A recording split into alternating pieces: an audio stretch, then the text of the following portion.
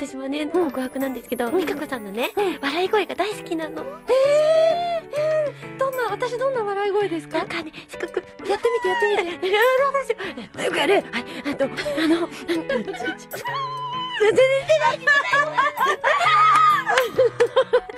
ちょっと待ってください。ち